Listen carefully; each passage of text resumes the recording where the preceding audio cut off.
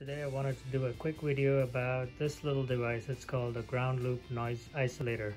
What does it do and how does it help? Ground loop noise happens when you take an audio source and a speaker that are connected to the same power outlet and that causes an interference. So right now, this speaker, you can hear the sound here. You hear that buzzing and clipping kind of sound. Now that is ground loop noise and it's happening because this speaker is connected to an output from this amp and both of them are drawing power from the same room which have the same ground signal. So what this little thing does, ground loop noise isolator, is it takes the audio through a 3.5 mm headphone jack on one side, magnetically transfers it without passing the electricity through, and then takes the output from this side. So we go like that, boom.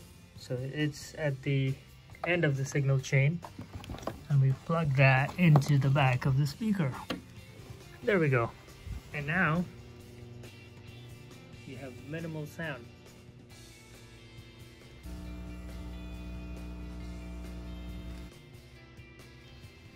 You can go and buy one of these on Amazon.